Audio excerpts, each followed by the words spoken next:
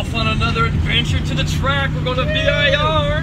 Yeah, Tiffany's going to be taking her first track day at Yeah. VIR. What do you think?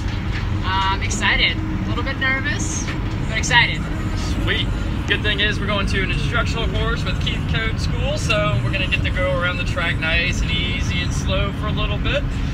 Do different braking drills so we get to learn the track very well. And then we pick it up, up, up, and up, but never going over the level of traction, hopefully.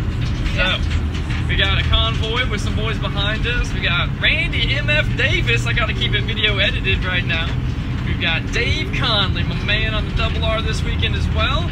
And I'm toting old Scotland Lehman's S1000 double R next to my Daytona 675R. Tiffany just sold her motorcycle to a gentleman that uh, found out how fast it was real quick. so to be rocking out the S1000 double R that you can rent from the Keith Code School. So Yeah. Hope you guys stay tuned for some action this weekend with Frontline Eurosports kicking it at California Superbike School. I know John Thomason's going to be there. Big shout out to you and your speed, unless you're rocking out the double R. I can't remember what you're doing. Will Martin. We've got Jeff Cook. We've got Ron Thompson. We got Tim Stockton. He was in the convoy, but he took off somewhere. Tim, this is the only time you're ever going to beat me anywhere, dude.